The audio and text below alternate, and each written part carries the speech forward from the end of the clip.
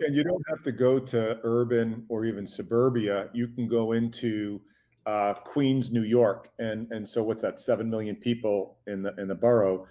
And if you are at rush hour at Queens, New York, in, in Queens, New York, and you have a stroke, um, it'll take you an hour to an hour and 15 minutes to get a stroke center. And we all know in stroke that window of time is hypercritical to to what kind of life you're going to lead moving forward from there.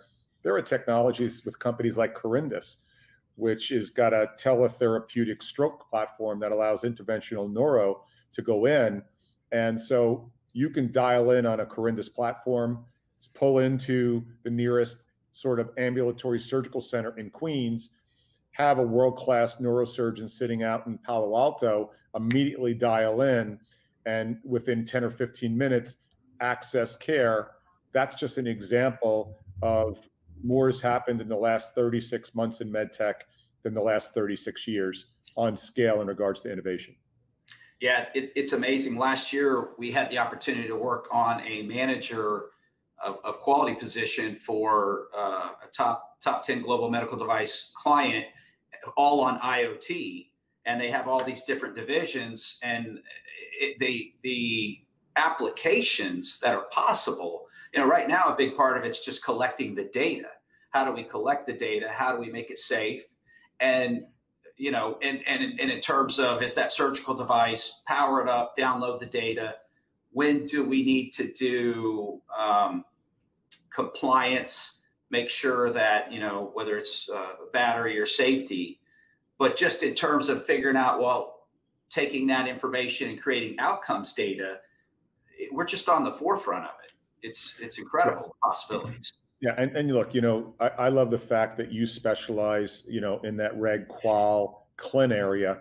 I think that is the most exciting area because the innovation that's going on right now, you know, historically, if you look at med tech, there's never been a sensitivity to a software stack for the most part in med tech. When you talk about core base, middle software platform, and then the top end UI UX interaction. Now add into mm-hmm. that cyber, add into that quality, add into that clin, add into that a SaaS model of product development where our new product rollouts are done over a 5G sort of connection. You're talking about an ecosystem now in medtech that's never existed before because typically we've been focused on extruding catheters, injection molded, and maybe putting together a guide wire. And again, I don't mean to minimize the amazing work that the industry's done.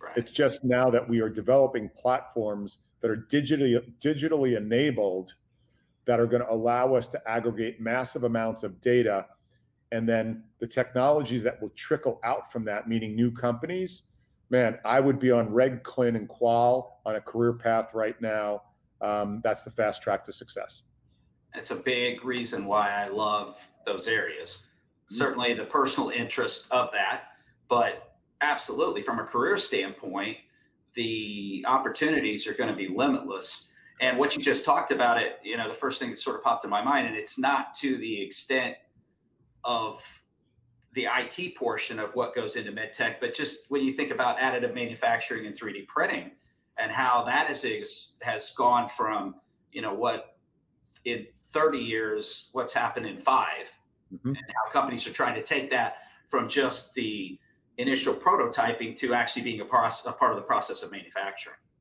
Yeah, you're, you're, you're, we already have ortho companies that through additive and, and, and, and sort of 3D printing, as I can get an image of a patient. And, you know, if you think about orthopedics, just as a general rule, orthopedics uh, is sort of uh, here's your four sizes, make it fit. Well, what if I can take imaging now and I can take that file and I can custom print that and overnight, literally, have it mailed to the doc next day in an OR. Uh, that's a reasonable thought in the next 24 months of having a custom implant that fits the physiology custom to the patient. These are the types of things that we're going to start to see more of. Yeah, it's exciting. It's really exciting.